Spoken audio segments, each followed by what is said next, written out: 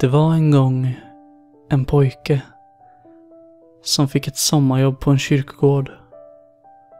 Det var inte den typ av arbete han normalt skulle ha valt. Men hans far var vän med begravningsentreprenören och hade övertalat honom att ta jobbet. Fastän hans rädsla för döda kroppar. Det var en väldigt kuslig plats att arbeta på. Och efter att ha jobbat där i över en vecka fick han fortfarande rysningar då han skymtade ett lik.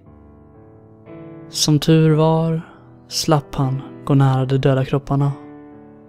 Hans sysslor bestod främst av att gräva gravar, kratta grusgångar och klippa gräset. Hans chef, begravningsentreprenören, han var den som förberedde liken för begravning. Det otäckaste av allt var valven. Familjer köpte dessa stora gravar och varje medlem i familjen som dog placerades i valvet inuti en kista.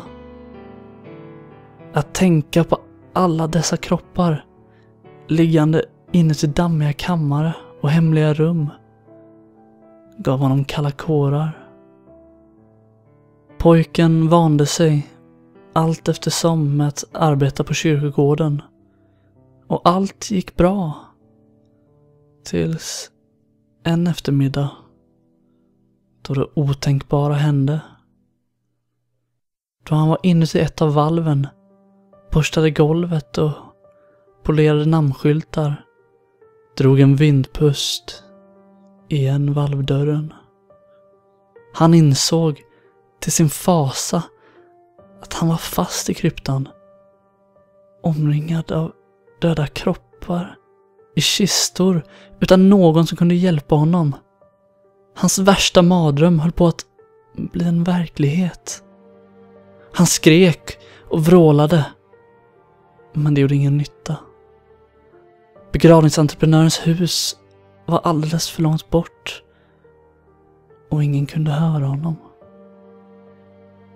Då timmarna passerade insåg den desperata pojken att han var tvungen att ta sig ut själv. Och han började fundera på hur. Det fanns ett litet öppet fönster högt upp över valvdörren. Olyckligtvis var det alldeles för högt för att kunna nås. Sökande runt i rummet bestämde han sig för att han kunde använda kistorna om han staplar dem på varandra, en efter en, kunde det bilda en sorts trappa.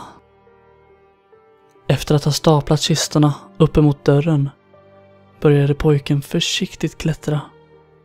Väl medveten om att inte välta dem. Precis då han trodde att hans plan fungerade trampade han på den översta kistan och träet gav vika under hans vikt. Hans fot gick rakt genom kistans lock och han kände en plötslig skarp smärta i hans ben.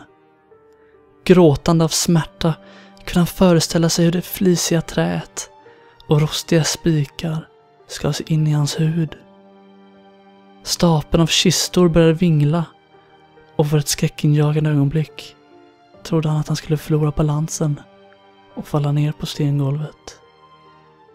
Som tur var lyckades han greppa tag i fönstret och stadga sig. Han kunde känna blodet rinna längs hans ben.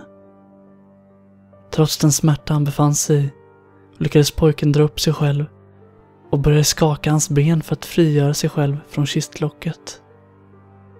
Stapeln av kistor tippade över och tumlade ner mot marken. Fastklamrad till fönstret drog pojken med all sin styrka upp sig och kravlade sig igenom den smala öppningen. Han föll ner på utsidan och haltade mot begravningsentreprenörens hus efter hjälp.